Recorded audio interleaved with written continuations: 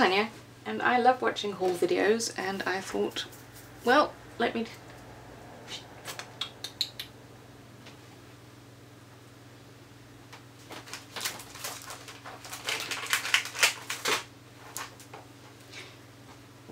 Hi, it's Tanya and I enjoy watching haul videos and I haven't managed to do any myself so I thought I'd, seeing as I'm on a roll with doing process videos and the like, I would do a haul. It's a fairly small one, bits and bobs that I have got from local shops and one of my Cocoa Daisy Project Art kits finally arrived. It's, would you believe, the November one? So I figured I'd show you that first. Comes in this really cute muslin bag and they have that little saying on there, go make art. And this one comes with Colour Bloom spray in gold which I'm super excited about. I'm hoping it's a nice bright gold. You know, I don't have I don't have Heidi Swapp's Gold Lame, which everybody raves about. So yes, hoping this is this is going to be nice. So you get that and as you can see it came separate like that and obviously you just stick it together. I have one other of these, it's a green one. So I have yet to really dabble into them to see if, because for the life of me, I can't do those splatters. I try so hard with the splatters and I end up splattering everything except the page. So maybe those will be easier. Then there is this piece of tissue paper. Not quite sure what I'm going to do with that. You know, the really weird thing is I am pretty damn useless at mixed media. I'm going to try and get better at it but I do love to buy mixed media stuff. So that's why I subscribed to Cocoa Daisy, to their project art, and but I have subsequently stopped because, as you can see, I only got the November one now. I still have my December outstanding, and I have no guarantee that I'm going to get them, so I didn't want to waste money continuing. So I did stop there. But it comes with this really cute little stamp. It's I don't know what they are. They're, it's just a, it's just a shape. And then these, I'm not quite sure what I'm going to do with these. These are glass glitter, gold and sterling. I was, I've never tried glass glitter before, so little, little scared I have to say. Wondering if I'm going to cut myself. But uh, looks really pretty, so give it a try. So that was my Cocoa Daisy kit Then locally I bought a really nice wide brush. I'm going to blame Vilna Furstenberg for that because when she does her gelatos she always uses this lovely big thick brush and it seems to work beautifully so I'm going to give that a go. And then these two are liquid acrylic inks. Isn't that just the most stunning colour? I thought that would work really well with the hot pinks and the January hip kit and then there's just a black one. It's like, I think it's very similar to those Isings that we got. You see it's got a dropper.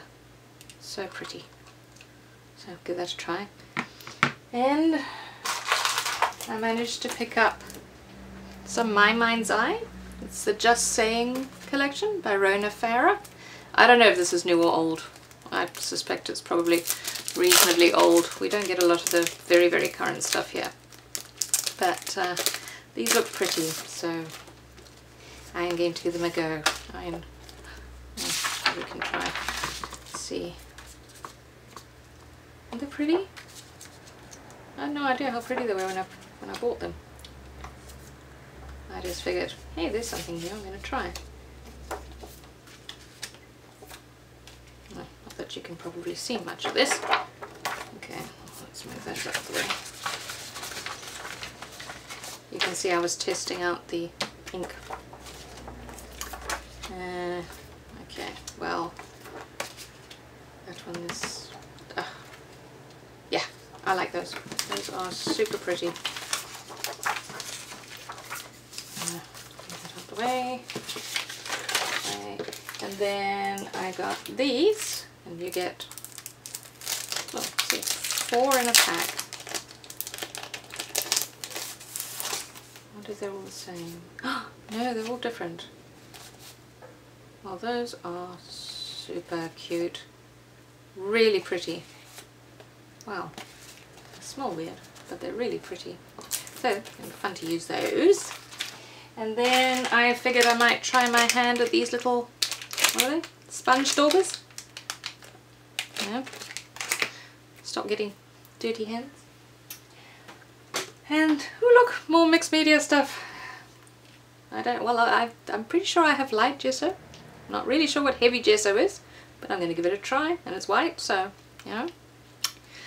We're going to try that. And along with that are two stencils. This is a Heidi Swapp one. I think I'm going to enjoy stencils more in the 12 by 12 size because then you could, I don't know, I, I find it a little difficult when they're tiny stencils and but then again as I said I'm not exactly the past master at mixed media. And then I have a Kaiser Craft one. Yeah, shout out to the Australian people. Yay, that's quite pretty.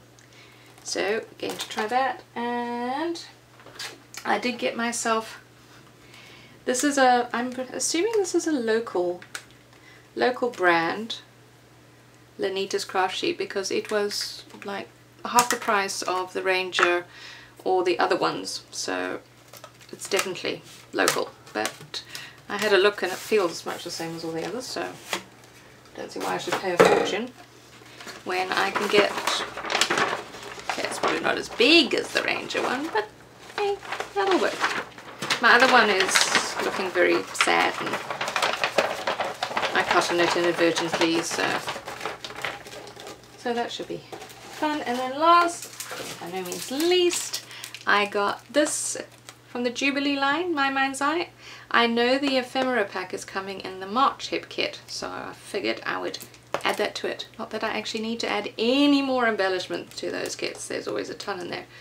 But it's pretty, it's cute. Look, you've got uh, that one. I'm still trying to work out what it says. One, one of a, one of a kind? Ha, might be one of a kind. And live your life, follow your dreams, cute scooter. So yeah, so that is my first ever haul. Thanks for watching. Bye.